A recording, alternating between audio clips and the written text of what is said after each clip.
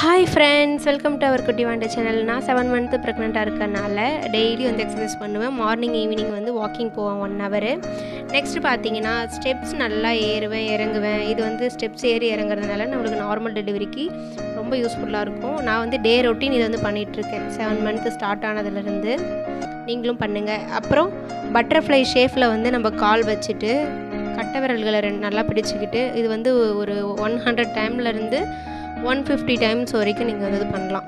இது வந்து ரொம்ப மோஸ்ட் இம்பார்ட்டண்டான ஒன்று நார்மல் டெலிவரிக்கு நீங்கள் வந்து டெய்லிக்குமே இது வந்து ரொட்டீனாக பண்ணிங்கன்னா கண்டிப்பாக உங்களுக்கு நார்மல் டெலிவரிக்கு அதிக சான்ஸ் இருக்குது நல்லா நீங்கள் வந்து ஸ்டெப்ஸு ஃபஸ்ட்டு நல்லா ஏறி இறங்க. மார்னிங் ஈவினிங் வந்து நீங்கள் ஏறி இறங்கினாலே போதும்.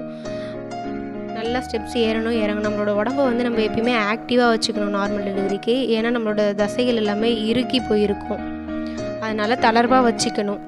நெக்ஸ்ட்டு பார்த்தீங்கன்னா டக் வாக்கிங் டக் வாக்கிங் வந்து நீங்கள் எவ்ரிடே பார்த்தீங்கன்னா ஒரு தேர்ட்டி டைம்ஸ்லேருந்து நீங்கள் ஃபார்ட்டி டைம்ஸ் வந்து பண்ணலாம் டக் வாக்கிங் தொட மசில்ஸ்லாம் ரொம்ப தளர்வு அடைஞ்சு கொடுக்கும் இது. ரெண்டாவது ஸ்குவாட்ஸ் பண்ணலாம் நீங்கள் உட்காந்து உட்காந்து எழுந்திருக்கணும் நீங்கள் இது வந்து நம்ம இடுப்பு நம்ம வந்து நல்லா தளர்வு பண்ணி கொடுக்கும். இது நார்மல் டெலிவரிக்கு ரொம்ப யூஸ்ஃபுல்லாக இருக்கும். பிடிச்சிருந்துச்சுன்னா லைக் பண்ணுங்கள் ஷேர் பண்ணுங்கள் கமெண்ட் பண்ணுங்கள் தேங்க்யூ டு ஆல் பாய்